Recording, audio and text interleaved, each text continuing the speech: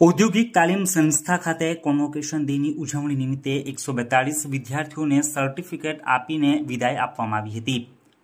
Vagda ITI ખાતે આજરોજ pass થયેલ તાલીમાર્થીઓને કોન્વોકેશન ડેનું આયોજન કરી એકસો બેતાલીસ પ્રમાણપત્રો વિતરણ કરવામાં આવ્યા હતા. આ પ્રસંગે વિલાયત ઔદ્યોગિક વસાહત તેમજ સાયખા ઇન્ડસ્ટ્રીયલ એસ્ટેટમાં આવેલ કલરટેક્સ ઇન્ડસ્ટ્રીઝ તેમજ બોડાલ કેમિકલ કંપનીના મહેશ વસી અને કુંજ પટેલ વિશેષ ઉપસ્થિત રહ્યા હતા. આ નિમિત્તે ઉત્તીર્ણ થયેલ તાલીમાર્થીઓને તેઓના જીવનના આગળના તબક્કામાં તે માર્ગદર્શન પૂરું પાડ્યું હતું. વાગરા તાલુકામાં આવેલ ઔદ્યોગિક એકમોમાં પોતાનું કૌશલ્ય પ્રાપ્ત કરી પાસ આઉટ થયેલ વિદ્યાર્થીઓ કેવી રીતે નોકરી મેળવી શકે, કેવી રીતે ઇન્ટરવ્યૂમાં પાસ થઈ શકે અને કેવી રીતે પોતાની જીવનશૈલીમાં બદલાવ લાવી શકે તે બાબતે બંને મહાનુભાવોએ પોતાના વક્તવ્યમાં સલાહ અને સૂચનો કર્યા હતા. આ કાર્યક્રમમાં કલરટેક્સ કંપનીના મહેશ વસી તેમજ બુડાલ કેમિકલ કંપનીના કુંજ પટેલ અને આઈટીઆઈમાં અભ્યાસ કરાવતા શિક્ષકો તેમજ બાળકો ઉપસ્થિત રહ્યા હતા. એકસો બેતાલીસ તાલીમાર્થીઓને પ્રમાણપત્રો એનાયત કરાયા હતા. જે પૈકીના પ્રથમ દ્વિતીય અને તૃતીય ક્રમાંક હાંસલ કરનાર ત્રણ વિદ્યાર્થીઓને અનુક્રમે ગોલ્ડ સિલ્વર અને બ્રોન્ઝ મેડલ અર્પણ કરવામાં આવ્યા હતા. બે વર્ષ મહેનત કરીને આપ ઉત્તીર્ણ થયા છે. ખૂબ જ આપ સૌએ મહેનત કરી છે. આપની ઉપર આપના કુટુંબ પરિવારનો પણ ઘણો મોટો આધાર રહેલો છે. અને તમે વિદ્યાર્થી કાળમાંથી સફળતાપૂર્વક અભ્યાસ પૂર્ણ કરીને હવે જીવનના નવા તબક્કામાં જ્યારે પ્રવેશી રહ્યા છે, ત્યારે ફરી એકવાર આપ સૌને મિત્રો ખૂબ ખૂબ અભિનંદન પાઠવું છું, ખૂબ ખૂબ શુભકામનાઓ પાઠવું છું.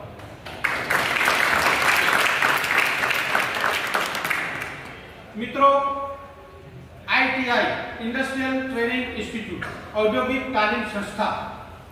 ભારત દેશનો જે આજે વિકાસ થયો છે, આજે એમ કહેવાય છે કે ભાઈ, વિશ્વમાં સૌથી ઝડપથી વિકસતું કોઈ અર્થતંત્ર હોય, સૌથી ઝડપથી વિકાસ પામતો જો કોઈ દેશ હોય, તો એ ભારત દેશ કોરોનાના કપરાકાળ પછી દુનિયામાં ડાર્ક, ઇકોનોમિક ડાર્ક છવડનેસ છવાઈ ગઈ.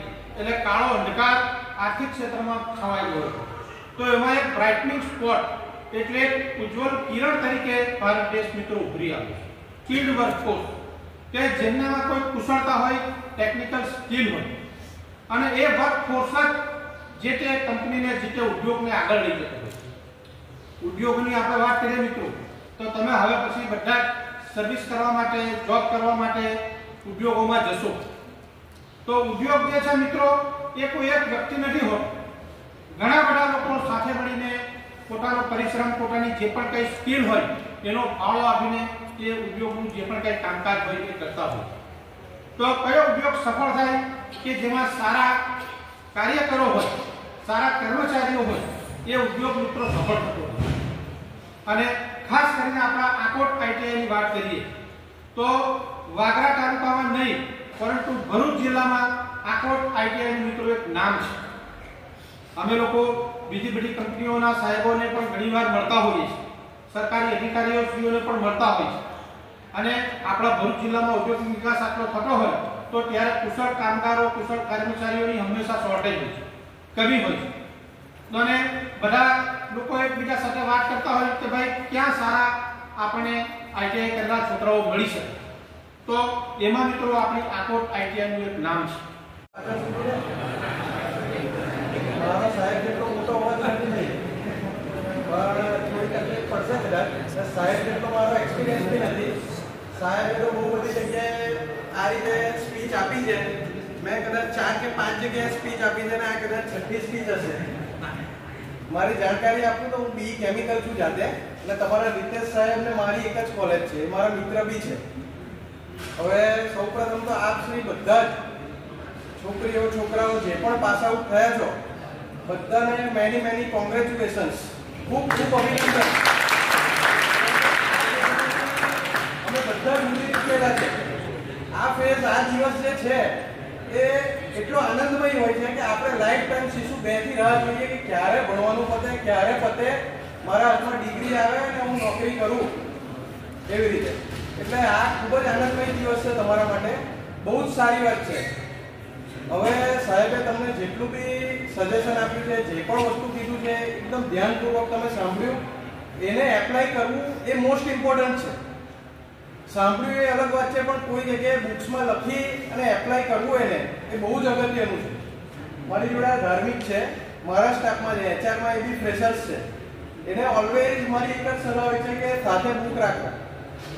ઇન્ડસ્ટ્રીઝમાં જાઓ, તમે જે પણ જગ્યાએ નોકરીમાં, જે પણ ફિલ્ડમાં હોય, સાથે બુક બહુ જરૂરી છે. તમે અહીંયાથી ભણી લીધું છે. હવે જશો તમે ઇન્ટરવ્યૂ માટે. બરોબર છે? ઇન્ટરવ્યૂ માટે first impression is the last impression પહેલી ઇમ્પ્રેશન આપણી એવી હોવી જોઈએ કે જેથી કરીને પચાસ ટકા સામેવાળા ઇન્ટરવ્યુ જે છે તમારા, ના મગજમાં એ ઇફેક્ટ બેસવી જોઈએ કે ના આ છોકરો વ્યવસ્થિત છે. કદાચ તમે દસ ટકા, પચીસ ટકા, પચાસ ટકા સુધીને ટેકનિકલ નહીં આવડતું હોય તમને, પણ તમારી પચાસ ટકા ફર્સ્ટ એક એક સલાહ છે મારી કે તમે જ્યારે બી ઇન્ટરવ્યુ આપવા જાઓ white shirt black pant shoes belt આટલું વસ્તુ પરફેક્ટ હોવું જોઈએ. ફોર્મલ કપડાં જે આપણે કહીએ છીએ નોર્મલ ભાષામાં એ વસ્તુ એપ્લાય કરો કરો ને કરો જ. સામેવાળાને ઇમ્પ્રેશન તમે સારી પડશે. એ તમારો ફર્સ્ટ ઇમ્પ્રેશન તમારા માટે એપ્લાય થઈ શકે. તમે થર્ટી પર્સન્ટ ઇન્ટરવ્યુ ત્યાં ક્રેક કરી નાખશો. બીજી વસ્તુ, જ્યાં સુધીને એન્ટર થાવ છો ઓફિસમાં મે આઈ કમિંગ આ નોર્મલ બેઝિક વસ્તુ છે. તમારે સ્ટાર્ટઅપ કરો મે આઈ કમિંગ સાહેબ કે હા, આવો.